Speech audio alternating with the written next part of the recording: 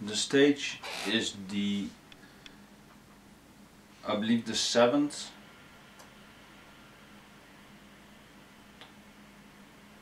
It is the, yeah, the seventh studio album by the heavy metal band uh, Avenged Sevenfold, requested by Zak Sharman, who is a big fan of the band. So there we go. Um, yeah, you know, me personally, I'm not the biggest fan of them, but I still like some of their records and some of their songs, I would say, so I'm kind of mixed about them. But I still like them overall. And yeah, there is kind of a deluxe problem I have with this album, but that is not gonna affect the initial rating of this record. But I'm still gonna criticize it because it's kind of, eh, for me it's kind of dumb. It's kind of nitpicking, but I'm talking about the original album here, which I was pleased with the most, but I'm still gonna give my critiques about it. Uh, yeah, so we have 11 songs. Um, we have a runtime of 73 minutes and 42 seconds. If you ask me, that's a little bit too long, except maybe if you're a prog metal band, which they kind of were here, but not really in my opinion. Uh, but I'm gonna expl explain it in a bit. Uh, we have the stage, which is 8 minutes and 32 seconds, I believe, one of their long longest songs.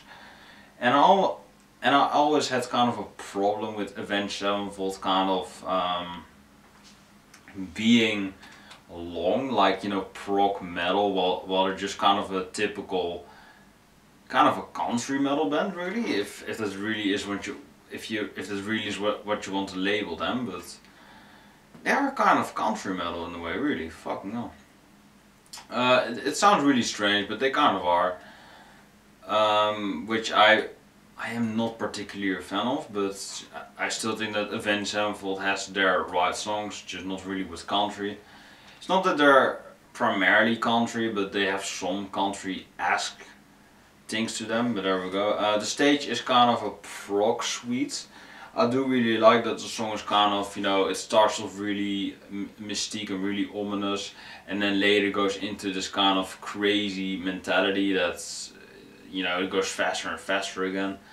I do really like that, but I do think that the song kind of drags on for like two, three minutes too long. I, I, I think that if you have kept it at just five minutes it would have been fine, but I know that Avenged Sevenfold is kind of, you know, they want to be prog, I think. They want to be prog because, um, you know, I believe that uh, CDOV was fucking long and I believe Nightmare was kind of long-ish. Or, or, or, I believe uh, the self-titled one there are some really fucking long songs from those albums and I'm like, really, do those songs really need to be like 8 minutes long? And that's kind of the same thing that I have with the stage, although I think that the song is way better produced, it has way more tempo changed, way more, I'm not sure about time signatures, but who, who the fuck cares? Um, but I still like the song probably the best out of their, you know, their really long songs, it's probably one of their best. Uh, so there we go, it's a good opener. Uh, it could have been a bit shorter, but it was still a pretty good song nonetheless. Then we have Paradigm, this is a really, you know, this is kind of like the stage volume 2 because it's kind of the same, it kind of does sound the same, but it is twice as short. So this is kind of my critiques to that with the stage, bettered. So this is uh, Avenged Sevenfold already improving because I do really like that kind of energetic, trashy element that they have on the song they better themselves on Paradigm or however you want to say that. I believe uh, Korn had a Paradigm song as well. Paradigm, I don't know how you say who, who the fuck cares. Um, yeah, so this song is kind of, you know, the stage volume 2. It is better, it's shorter, it's more to the point. It's more, it's trashier, it's just, it's just a better song, really. Uh, the stage is real, still really good. But I think that it is just kind of too long, in my opinion. But uh, Par Paradigm, just um, gets rid of those problems immediately. A genius. And then we have Sunny Disposition. And this is kind of the summer anthem for the uh, for the band. Although the song is kind of 6 minutes and 41 seconds. So it is kind of, you know, they want to have a uh, summer-ish tone to them. But they also have the song. Uh, it was pretty solid. I, you know, I thought it was a great follow up to the first two songs. It is kind of in the middle as in it's 6 minutes long other song is 4, other one is 8, so it's kind of in the middle. Um, and I do think that the song kind of you know betters the two as well. It has great elements to elements to it. It has, it has great uh, instrumentation. Just overall a kick-ass tune and just overall a pretty good follow-up to the first two songs. Then we have Goddamn, which was a 3 minute and 41, uh, 41 second clip. Uh, pretty much to the point, pretty trashy, pretty fast as well. They kind of have they, uh, those progressive elements as well on there, while still being you know kick-ass, uh, short to the point, kind of you know trashy, uh, you know metal elements on there. And I do really love it about Goddamn. Uh, you know, Goddamn is just basically the song that uh, kind of pays roots to the trash, you know, I would say. It's just really fast, really, you know, thriving as well. Really driving, just really amazing elements to it. Goddamn, probably my favorite so far. Really great song. There we go. We have Creating God, which is the, was not entirely anymore, it's not entirely exactly, but Creating God is kind of this, uh, this song that has kind of a God complex to it. It sounds really uh, really experimental, really like highly praised, like we're creating God or we are the creators of God or something. And does kind of sound half-assed and kind of unneeded, uh, which I kind of uh, felt about the song. Still good, it's still good in place, but I think that eventually gets kind of too complicated on this track if you really want to call if you really want to go there. Still a good song overall, but kind of you know unneeded, overtly complex, so there we go. And then we have Angels, and this was simply a beautiful track. This was just a really solid track, really great instrumentation, great melodies on this track, just a lot of uh, good singing by M Shadows. I was never really a big fan of M Shadows singing, but I would still say that it is one of his better songs, I would say, of all time. Uh, so there we go, really great centerpiece of the record, or really solid, however you want to go there. But it, it was a solid song, so there we go. Uh, then we have Simulation, which is the seventh track, and overall this is one of the one of those songs that is um, uh, just kind of there. It is solid. It is what it is. Don't really have anything against it. It was just a solid song on the record, so you know it was kind of filler for me, but it was still good, I would say, but not really anything that stood out for it. Then we have Higher, which is kind of the six minute uh, song that is just. Um, it was good, I would say. It is a good song overall, but I do think that the record is kind of missing a hit, so to say. And I think that the stage, Paradigm, Goddamn, I think those earlier songs kind of were. Uh, what, what is the thing here?